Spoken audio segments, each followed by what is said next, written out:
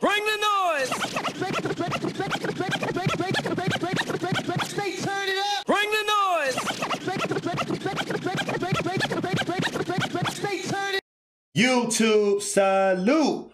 Pusha T launches new record label and introduces first signee. If you're new to my channel, please hit that subscribe button, click the bell icon to be notified when I upload new content and go live.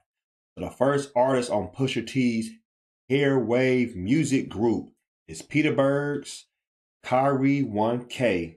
So Pusha T, you already know the president of Good Music. Now he's about to venture out to his own record label. So it's called Ha- Hairwave Music Group. Congratulations to um, Pusha T. So Akari 1K, that's from Petersburg, Florida, released a nine-track project in January titled The Ghost of Pekin Acres, and it features people as Quando Rondo and Young Blue. So Pusha T told um, a crowd at a night in Virginia that he has so many things that's on his plate that is going to be beautiful moving forward for 2020. now with the label, that's one of the things I'm trying to do.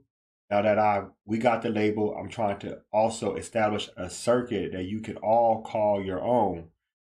That's all over Virginia.